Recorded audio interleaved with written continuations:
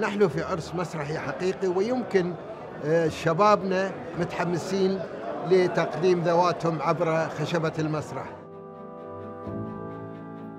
أشكر الجميع وإن شاء الله إحنا في مستقبل. راح نبدع في العمل وراح نتطور أكثر. أنا م- مدرك ومستوعب إني أنا عملي ما راح يعجب الجميع. في الناس الناس مختلفين والناس آراء. الهدم جميل لكن البناء هو الأصعب. فلذلك إحنا لابد أن نحافظ على من بقى من الأجيال المختلفة يواصلون أداء رسالتهم.